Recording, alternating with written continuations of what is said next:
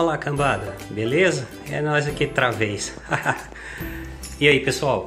É, meu nome é Ian Palak, é, ou Jean Palache, como alguns gostam de falar. É, eu não ligo muito para a pronúncia, mas a pronúncia do, do Tux lá ficou correta. Do Gabriel, né? É, bem, é, aqui, meu local de trabalho basicamente é esse aqui. É um quarto em minha casa onde eu fiz um, um escritório meio que planejado. É... E basicamente eu vou mostrar os itens que eu uso no dia a dia do trabalho e um pouco do que eu tenho aqui de, de gadget e tal, de, de souvenir. Ah, como principal máquina de trabalho, eu uso um ThinkPad X230. É, ele já não é o modelo mais recente, né? muito pelo contrário, ele já é um modelo descontinuado pela Lenovo. Mas eu consegui achar ele por dois mil reais cravado aqui na cidade e resolvi comprar. Ele estava bem barato, um pessoal que trazia do Paraguai. Ah, ela é uma máquina muito boa, apesar de eu não gostar desse tipo de teclado que se tornou popular hoje em dia, o teclado que a gente chama de chiclete, né? Ele tem esse item que, que, que a gente, a comunidade que usa ThinkPad carinhosamente chama de clitóris. Então nós basicamente não tiramos a mão do teclado enquanto trabalhamos, o que é muito cômodo para mim. Eu tenho problema de, de tendinite. Um, eu uso ele e, esse modelo é interessante porque eu comprei, acabei comprando a dock station, essa dock separada embaixo para acoplar ele e aumentar o número de portas. E ele, esse modelo é interessante porque ele vem com a mini DisplayPort, ao invés de vir com a DisplayPort padrão. Eu não sei porque eles optaram por isso, já que mantiveram todas as outras é, interfaces, PCMC, duas USBs energizadas, um USB comum, rede, etc. Mas enfim, é um modelo que me atende bem, eu coloquei um SSD nele, ah, e o outro HD eu estou usando como HD para o Nintendo Wii, é, mas uh, o mesmo está parado né, ultimamente.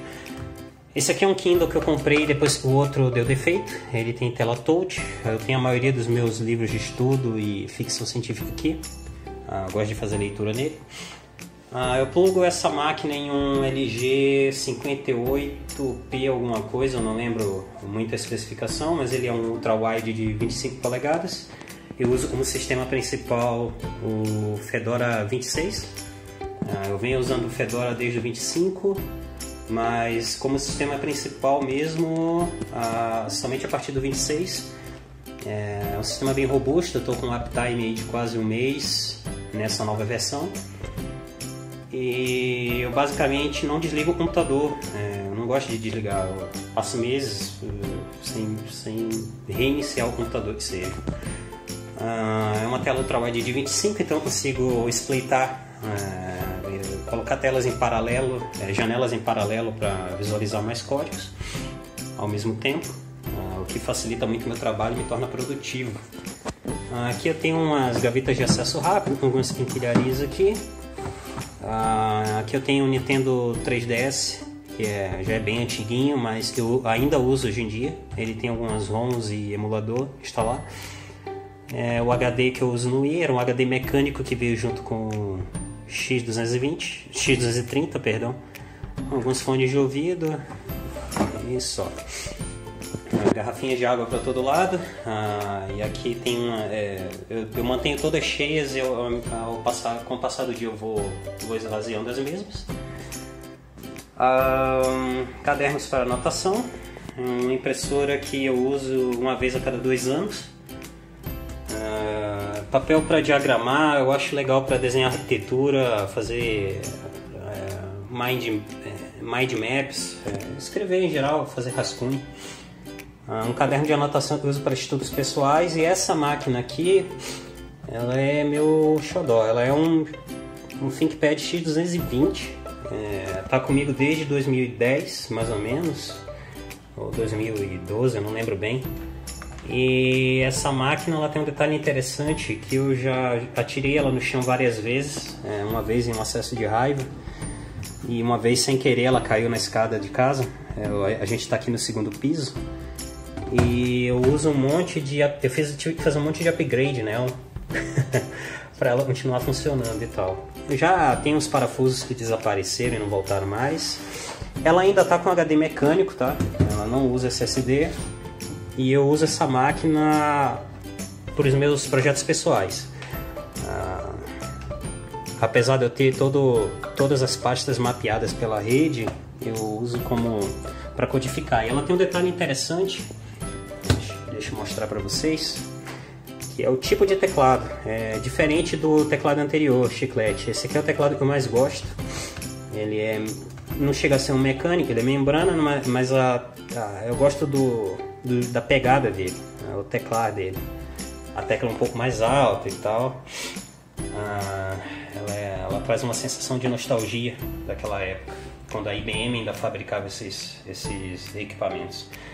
Ah, vocês estão vendo aqui aberto o Visual Studio Code, que é meu editor favorito é, na atualidade. Eu fui um usuário de Vim por muitos anos.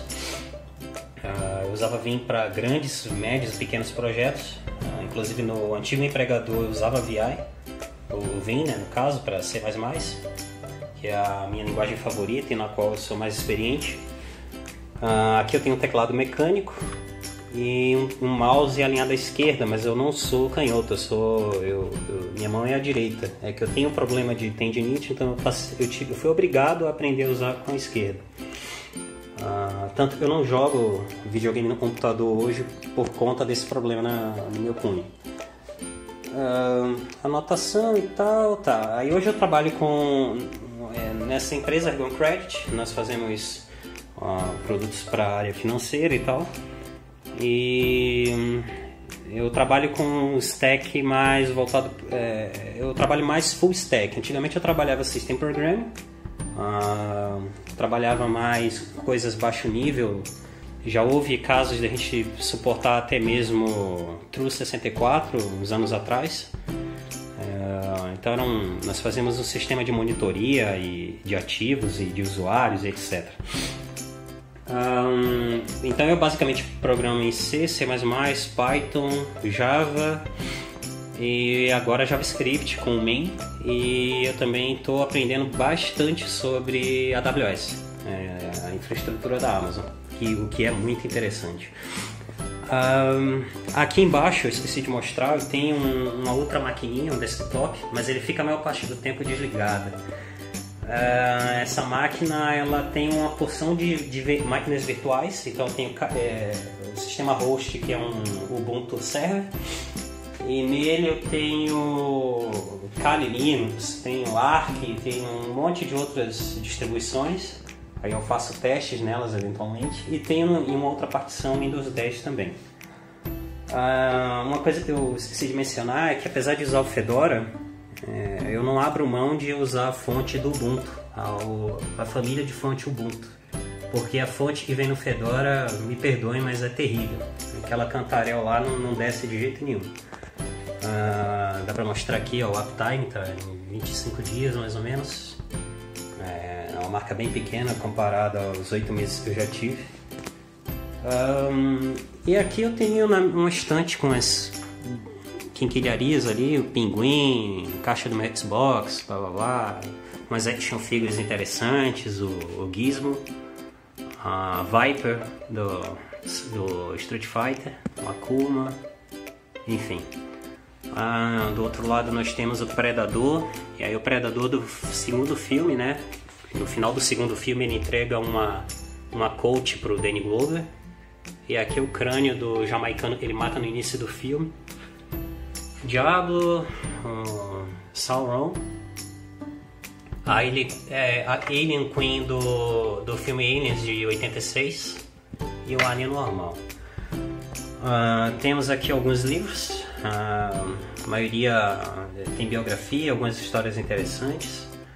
Uh, uma edição de Hobbit que é bem ela é bem especial porque ela foi me, dada, me foi dada de presente por uma amiga que foi a, no Reino Unido. Ela trouxe para mim é uma reedição da acho que da primeira edição que, que foi publicada por lá.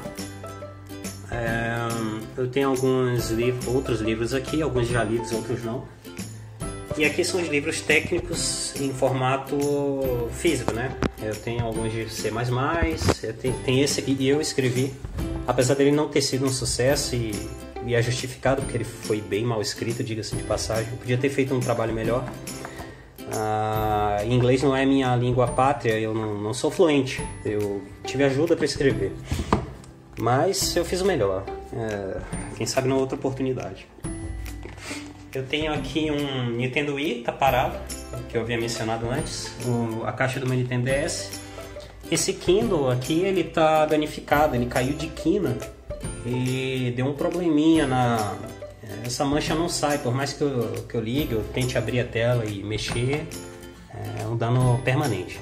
Ele ainda funciona, mas ele não é touch, então ele ficou pouco prático. Eu não, como eu não vou conseguir passar para frente, ele vai ficando aí. Ah, o Nintendo ele tem um problema no leitor óptico também, o Nintendo Wii. Aí eu praticamente uso, basicamente uso um o HD externo, né? Eu tenho um um cartão SD aqui com um hack que eu uso para é, liberar o sistema, destravar o sistema. Uh, mais alguns livros que eu e minha esposa gostamos de ler. Agora eu estou tendo que estudar bastante matemática financeira uh, e revistas. No mais, é, é isso. Uh, eu tenho também alguns gatos, em torno de 21. E meu ambiente de trabalho basicamente é esse: dois quadros brancos, nada de especial. Um pouco organizado, talvez, em comparação com alguns por aí, mas mais pelo toque que eu tenho com, com organização e o lugar das coisas do que qualquer outra coisa.